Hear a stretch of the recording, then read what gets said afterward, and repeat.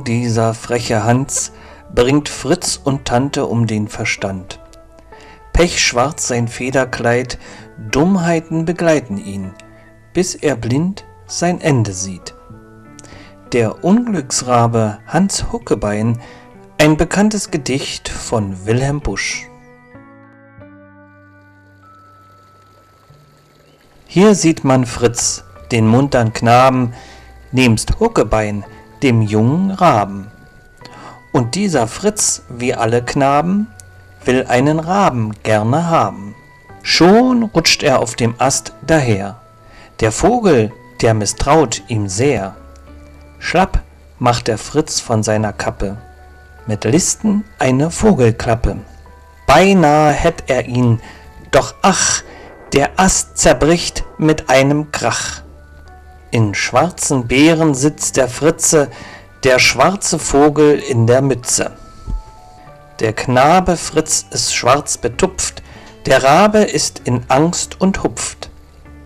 Der schwarze Vogel ist gefangen, er bleibt im Unterfutter hangen. Jetzt hab ich dich, Hans Huckebein, wie wird sich Tante Lotte freuen? Die Tante kommt aus ihrer Tür. Ei, spricht sie, welch ein gutes Tier. Kaum ist das Wort dem Mund entflohen, schnapp hat er ihren Finger schon. Ach, ruft sie, er ist doch nicht gut, weil er mir was zuleide tut. Hier lauert in der Topfeshöhle Hans Huckebein die schwarze Seele. Den Knochen, den er spitz gestohlen, will dieser jetzt sich wiederholen. Sie ziehen mit Knurren und Gekrächz, der eine links, der andere rechts. Schon denkt der Spitz, dass er gewinnt, da zwickt der Rabe ihn von hint.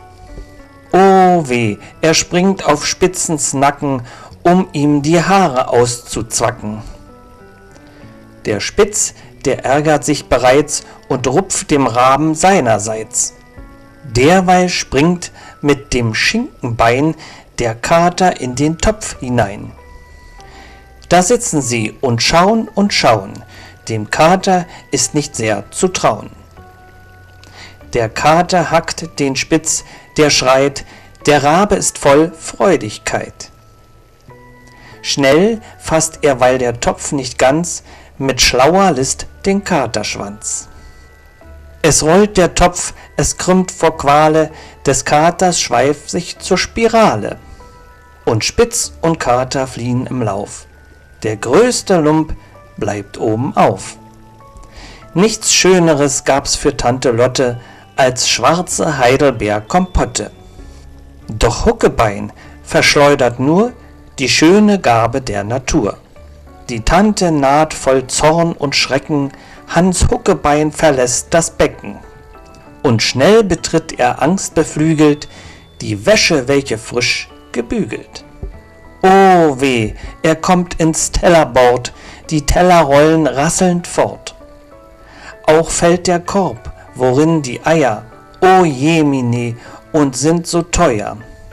Patsch, fällt der Krug, das gute Bier, ergießt sich in die Stiefel hier und auf der Tante linken Fuß stürzt sich des Eimers Wasserguss. Sie hält die Gabel in der Hand und auch der Fritz kommt angerannt. Pardons, da liegen sie. Dem Fritze dringt durch das Ohr die Gabelspitze. Dies wird des Raben Ende sein. So denkt man wohl, doch leider nein. Denn schnupp, der Tante Nase fasst er und nochmals triumphiert das Laster. Jetzt aber naht sich das Malheur, denn dies Getränke ist Likör. Es duftet süß. Hans Huckebein taucht seinen Schnabel froh hinein und lässt mit stillvergnügten Sinnen den ersten Schluck hinunterrinnen. Nicht übel, und er taucht schon wieder den Schnabel in die Tiefe nieder. Er hebt das Glas und schlürft den Rest, weil er nicht gern was übrig lässt. Ei, ei, ihm wird so wunderlich, so leicht und doch absunderlich. Er krächzt mit freudigem Getön und muss auf einem Beine stehn. Der Vogel, welcher sonsten fleucht, wird hier zu einem Tier, was kreucht.